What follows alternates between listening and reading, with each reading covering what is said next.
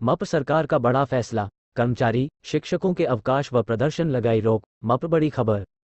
मध्य प्रदेश में दसवीं बोर्ड परीक्षा 5 फरवरी से और बारहवीं की बोर्ड परीक्षा छह फरवरी से शुरू होने जा रही है। माध्यमिक शिक्षा मंडल द्वारा आयोजित इस परीक्षा में नौ लाख बानवे हज़ार एक सौ एक छात्र एवं सात लाख अड़तालीस हज़ार दो सौ अड़तीस छात्राएँ शामिल होंगी। पूरे प्रदेश में कुल सात हज़ार पाँच सौ एक परीक्षा केंद्र बनाए गए हैं। भोपाल में दोनों कक्षाओं की परीक्षा एक सौ सैंतीस केंद्रों पर होगी। दसवीं क्लास का आखिरी पेपर 28 फरवरी और बारहवीं का 5 मार्च को होगा।